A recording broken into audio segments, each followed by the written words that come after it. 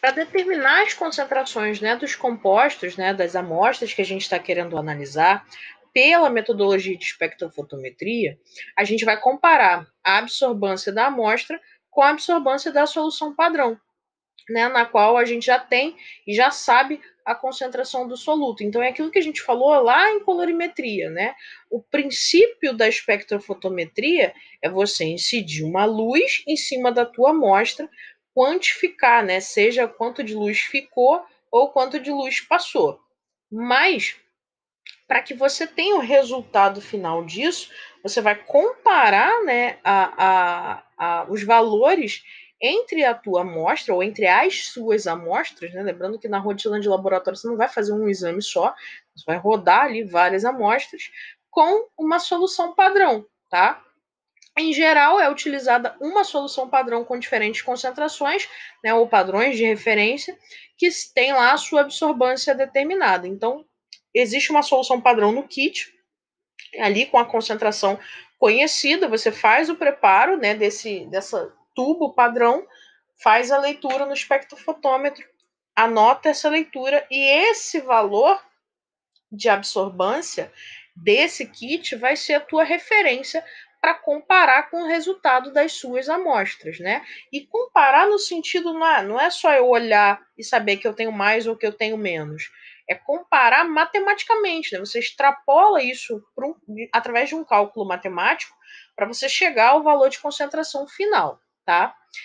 Esses padrões então são preparados, né, diluindo-se a solução padrão na proporção desejada para obtenção das concentrações desejadas.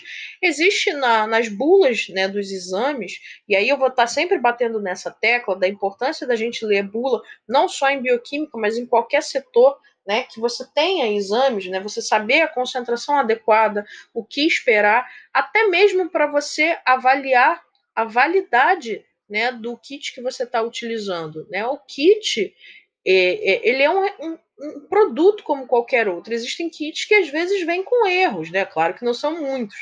Mas se o kit está errado, né? Se diz lá no kit que você tem que executar uma reação seguindo aqueles passos e encontrar no final das contas uma cor vermelha e você encontra um azul, né? Esse é só um exemplo, tá, gente?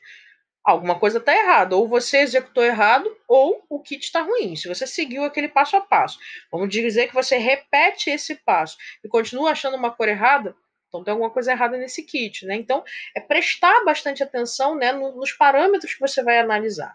Então aqui a gente já viu essa imagem anteriormente, mas mostra aqui as diferenças de concentrações, né? Então, fazer as comparações de absorbância entre esses, todas essas amostras aqui, né, faz com que a gente consiga chegar às concentrações das amostras dos pacientes que a gente é, vai liberar os laudos. Tá? Algumas aplicações né, da espectrofotometria no laboratório de análises, né, determinação dos lipídios totais, determinação de colesterol, determinação de proteínas totais pelo método biureto, determinação de creatinina pelo método Jafé, determinação de ureia, mas tantos outros dos quais a gente comentou, né? Então a espectrofotometria ela vai ser essencial no, no, no em todo o perfil né, dos exames bioquímicos de rotina básica de laboratório, né? Glicose, lipídios, função renal, hepatograma, proteínas, né? E a função renal entra, ou as proteínas entram aí na função renal também. Lembrando que dosagem de proteína não é exclusiva de função renal, mas serve para avaliar. Né? Então, a importância da, da gama de exames que são realizados pelo setor de bioquímica e que muitas pessoas ainda confundem como sendo hematologia,